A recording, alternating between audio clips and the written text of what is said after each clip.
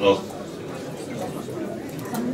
А, Следующим докладчиком у нас будет Павел Поляков с докладом о парсинге с помощью PHP.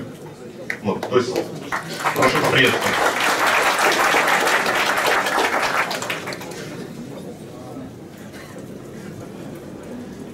Я уже буду начинать. Добрый вечер.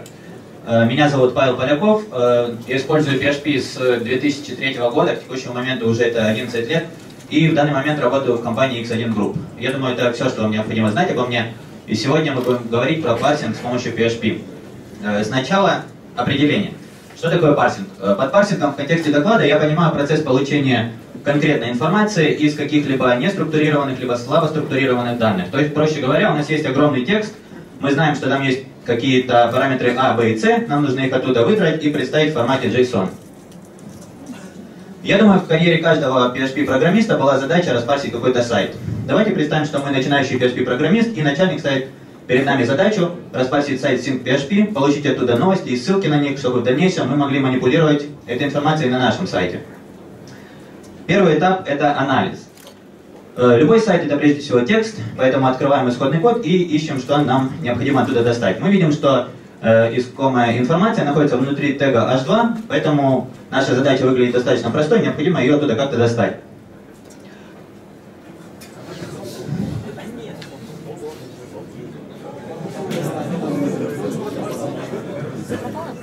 Да, пропало все.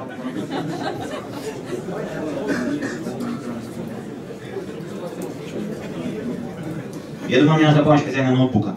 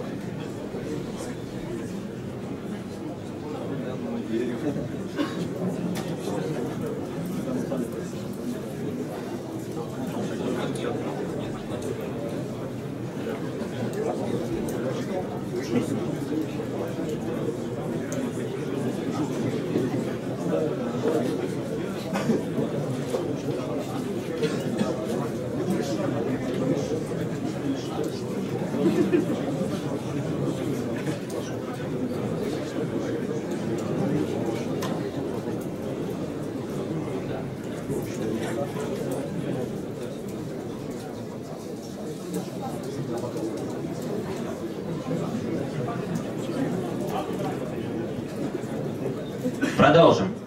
Напоминаю, мы начинающие PHP-программисты, нам нужно распарсить сайт PHP. Вроде бы все легко, мы нашли, что доставать и откуда. Поэтому мы говорим, все будет сделано, и начинаем, собственно, реализовывать. Сейчас мы с вами рассмотрим весь процесс эволюции парсинга, и вместе с этим эволюции программиста. Э, Сразу скажу, весь код, который будет рассматриваться, уже доступен на GitHub, ссылка э, на код будет в конце презентации. Итак, что значит, что знает начинающий PHP-программист? В первую очередь это строковые функции, всякие substr, strlen и любимая функция explode. Функция explode позволяет нам получить массив подстрок из строки, разбив ее по э, разделителю. А из сетевых функций мы знаем функцию FileGetContents. Она работает не только с файлами, но и с веб-адресами. Так что э, получаем контент, разбиваем весь этот огромный текст на новости, и дальше, итерируя по этим новостям, опять делаем explode, ищем там э, заголовки, ссылки и собираем итоговый массив. По ходу нам встречаются какие-то ошибки, поэтому непонятные места мы экранируем, потому что ошибки нам не нужны. Дальше. Развиваемся дальше. Мы узнаем о том, что существует curl и регулярные выражения. Теперь задачу можно решить элегантней. Э, С помощью curl мы получаем контент, он принимает кучу разных настроек конфигурации, мы даже можем задать кастомного юзер-агента. С помощью регулярного выражения ищем э, весь заголовок. Дальше итерируем по заголовкам и опять же ищем текст заголовка и ссылку, если она есть. Развиваемся дальше. Мы узнаем про SimpleXML. SimpleXML это библиотека, которая поставляется э, с PHP 5 и выше по умолчанию. Она, согласно своему названию, позволяет простым образом работать с XML. Но существует проблема. Э, Браузеры это достаточно лояльные существа, они будут вам пытаться рендерить любой HTML, который вы передадите. А библиотеки являются более строгими, они любят работать только с валидным э, XML. Поэтому для того, чтобы починить любой HTML, нам поможет библиотека Tidy. Ее, ее необходимо поставить дополнительно. Э, Получаем контент. Мы уже стали немного повзрослее, поэтому мы представляемся Googlebot. Закидываем контент в Tidy и чиним его, получаем валидный XML. Дальше закидываем наш валидный XML Simple XML, используя XPath, опять парсим все заголовки H2, и внутри них подчищаем дату, и если она присутствует, ищем ссылки и текст новости. Дальше. Э, работать с XPath э, весело, но недостаточно комфортно. А комфортно работать э, с jQuery, потому что селекторы jQuery любит каждый программист. Идем дальше. Это использование библиотека, библиотеки PHP Query и чиним XML, опять же, с помощью Tidy. В первую очередь устанавливаем PHP Query с помощью композера. Далее, так как мы уже серьезные программисты, мы оформляем свой код в класс. Здесь присутствуют два метода. Первый получает э, контент индекс страницы, и второй чинит XML. Сверху подключаем вендор автолод. Это делает все пакеты, установленные с помощью композера, доступными.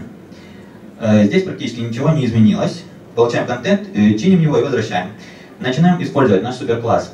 Получаем контент, загружаем его в документ PHP Query с помощью селектора H2, получаем все заголовки, итерируем по ним, ищем ссылки, ищем новости и радуемся жизни. Набираем этот массив. Дело сделано. Итого, если вы как программист используете этот метод, то вы уже хороший программист и хорошо делаете свою работу. Но существуют задачи сложнее. Э, предположим, что нам нужно распасить реально сложный сайт. Это какая-то многошаговая форма, где есть капчи. Сайт написан на .NET. Э, кто знает, если сайт написан на .NET, то каждая страница представляет из себя гигантскую форму с кучей э, полей, которые взялись ниоткуда, неизвестно откуда и содержат непонятно что. Для решения капчи мы воспользуемся сервисом Antigate. Это API для решения капчи. Э, вы закидываете туда капчу, и сотни индусов спешат ее для вас решить. Если у вас когда-то не заладится с программированием, вы можете попробовать себя в решении капчи на сайте колотикобло.ком. За, за тысячу капч вам дадут полдоллара. А парсинг и все взаимодействие мы производим с помощью Phantom.js. Phantom.js это headless браузер, который использует э, движок WebKit по факту это консольная утилита, которой мы первым параметром передаем файл, в котором мы на языке JavaScript написали инструкции для нее. Реальный пример. Э, сайт Единый государственный реестр юридических лиц и физических лиц предпринимателей. Что это такое? Э, вы можете зайти на сайт, вбить фамилию, имя, отчество любого украинца и узнать, является он ЧП или нет. Если он является ЧП, вы можете также посмотреть кведы. Что представляет из себя поиск? Мы заходим на сайт, э, соглашаемся с условиями поиска, далее вбиваем имя, фамилию, отчество, появляется капча. Решаем капчу, нажимаем ОК, и вот, наконец, желанная табличка. Весь код мы рассматривать здесь не будем, опять же, лежит на GitHub, рассмотрим ключевые моменты, что необходимо сделать с э, Phantom.js. В первую очередь, открываем сайт, вторым действием инклюдим туда jQuery, э, для того, чтобы нам было удобнее работать с контентом, который представлен на этом сайте. С помощью Page Evaluate мы можем выполнять функции непосредственно на открытой страничке. Здесь мы открываем скрытую форму, заполняем ее и сабмитим. Э, так как Phantom.js это обычный браузер, то чтобы показать что-то новое, ему нужно время, поэтому нам нужно ждать. Для этого мы оформляем анонимную функцию, которая возвращает deferred объект. Э, если вы не знаете, что такое deferred объект, то купите у Антона Шевчука книгу на следующем перерыве. Но по факту это все позволяет нам сделать код синхронным. Каждые 3 секунды мы проверяем э, контент на интересующую нас информацию. Если она там есть, или нам надо ее ждать, идем дальше. Теперь ищем капчу. Эту функцию я подсмотрел в интернете, она достаточно проста, мы передаем ей объект, она возвращает нам координаты этого объекта на странице. Дальше мы, используя эти координаты, делаем скриншот этой области. Скриншот это идеальное решение, потому что это позволит нам решать не только капчи, которые представлены в формате картинки, но и те, которые формируются с помощью HTML.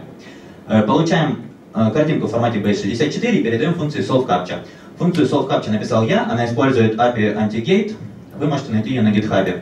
Она решает капчу, заполняем форму, сабмитим, идем дальше. Теперь опять ждем, каждые 5 секунд проверяем, есть ли наша табличка или нет. И необходимо нам теперь ее всего лишь распарсить. Мы распаршиваем э, табличку и выводим информацию в формате JSON в консоль.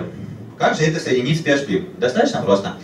Э, мы с помощью функции shellExec вызываем команду э, командной строки, передаем ей всю входящую информацию в качестве э, закодированного JSON. Э, дальше ждем результат, результат раскодируем и выводим. Э, результат в браузере выглядит так. Э, в итоге, сегодня я вам рассказал э, про Phantom.js достаточно бегло, но я надеюсь, мне удалось вас убедить, потому что это достаточно полезный инструмент э, в жизни веб-разработчика. Я советую вам рассмотреть примеры, которые я подготовил, они достаточно информативны и прокомментированы. И небольшое дополнение в качестве бонуса для тех, кто заинтересовался Phantom.js, обратите внимание на Casper.js. Это надстройка над Phantom.js, она позволяет работать с ним более комфортно. Спасибо за внимание. Код можно скачать тут.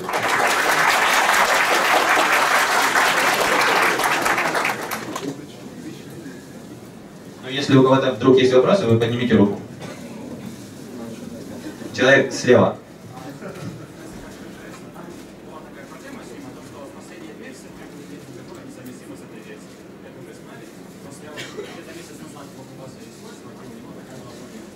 Я познакомился с Casper JS вчера, и у меня все работает. А есть для Phantom.js, которое а, позволяет работать с ним с красотой, как с самым стилем класса? Э, Я не искал, для меня было логичным использовать как-то, наверное, более низкоуровневое решение, просто вызвать его из командной строки. В таких случаях можно использовать для парсинга эксплорт. Первый вариант. Если вы только пришли на работу.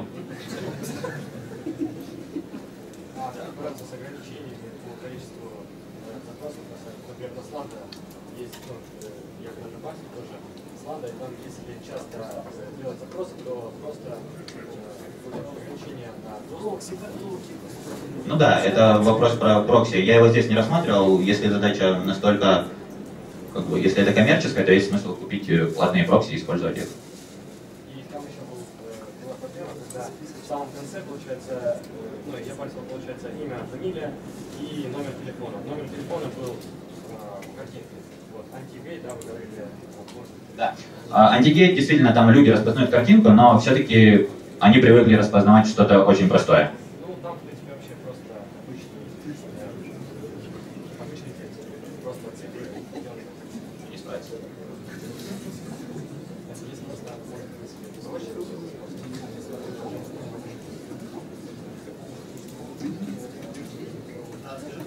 Э,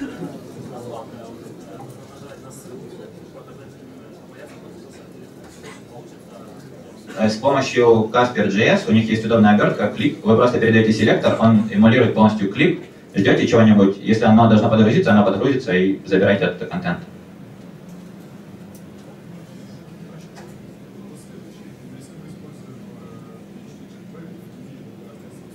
мы получаем э, возможность э, реализовывать э, наши идеи ну, фактически на любом э, устройстве. 420 миллионов устройств.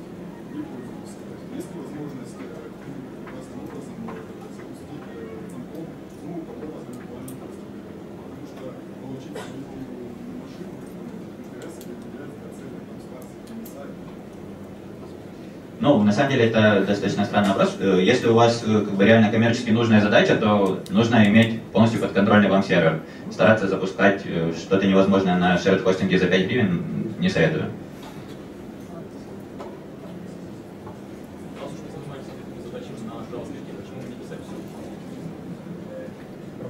Потому что конференция называется SyncPHP.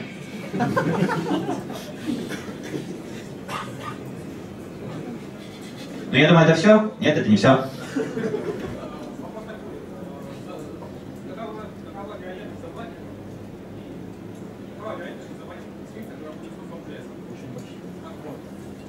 Э, Если э, владельцы сайта хотят вычислить всех ботов, которые используют их сайт, то у них это получится. Но, как правило, это никому не нужно, если вы не делаете что-то архиплохое. Мне